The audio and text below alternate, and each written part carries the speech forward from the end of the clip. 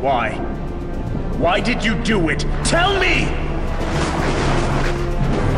You were a fool to betray me. And now, you will pay for it!